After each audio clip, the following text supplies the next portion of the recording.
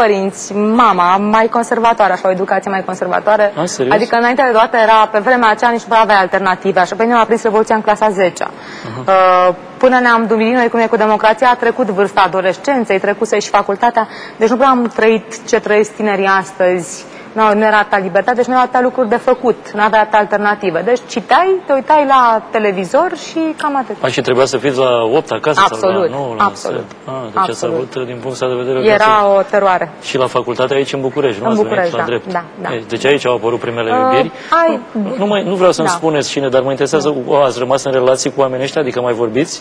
Sau ei acum, de când ați ajuns mare la putere, v-au Mm. mai căutat? Foștii cunoscuți, să zic așa? Sau e Deci, secret? așa cum spunea domnul Diagonescu, uh, aș, ar fi foarte trist dacă ar fi să uh, vorbesc despre viața mea personală, ar fi foarte tristă și aș termina o carte în trei pagini. Asta ar, de- ar fi dezamăgiți, nu? Uh, lumea ar fi Telespectatorii. dezamăgită, da. Nu sunt așa un personaj de telenovelă precum se încearcă a se acredita. Nu sunteți, dar oricum sunteți un personaj uh, important.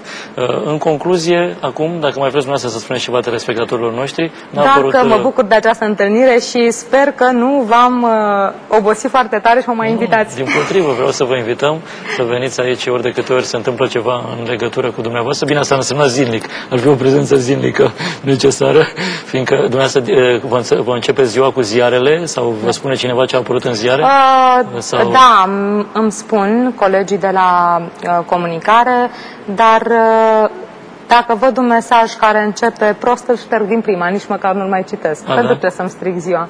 Dar acum am găsit, de acum încolo ameninț că dacă se mai spune adevăr despre mine, vin la OTV Da, să, da, le, da, să să spuneți le asta, demontez. Da. Să spuneți asta și uh, mulți uh, se vor lăsa pe gubaș. Mulțumim uh, mult vă de tot, mulțumesc doamna foarte Elena mult. Udrea, Să pentru aveți prima un bun. prezență aici la OTV. După foarte mulți ani, iată, n-a apărut Elodia în această seară, dar a apărut doamna Elena Udrea după ani și ani de așteptare. Au mai rămas câteva mii de întrebări nepuse din partea telespectatorilor, n-am mai apucat eu să le adresez, dar vă promit că o să o facem în edițiile viitoare. O să mergem și acasă la doamna Udrea, ați auzit și la domnul Cocoș. Bine, sperăm să ne primească domnul Cocoș, dar Cred doamna că Udrea deja e s-a șefa- mutat. E șefa în casă și n-are A încotro. golit casa și a plecat Uh, deja. și de asemenea uh, o să mai vină aici prin emisiune să ne uh, mai arunce câteva bombe, astfel încât și toate celelalte televiziuni să aibă ce discuta în uh, zilele uh, următoare. Emisiunea noastră uh, merge mai departe, după un foarte scurt moment publicitar, o să ne întâlnim cu invitatul următor, o să vedeți imediat despre cine este uh, vorba, uh, nu ratați ceea ce urmează, fiindcă nici nu știți ce pierdeți. În mod normal, uh, aș, eu conduc invitația acasă, nu știu dacă știți, cu mașina duc invitația, aș vrea și pe dumneavoastră Am să vă duc, ratat dar- ocazia de a dar- merge cu Rolls Royce, domnul Diaconescu, dar Dar nu măcar vreau să- șoferul nu poate să mă ducă.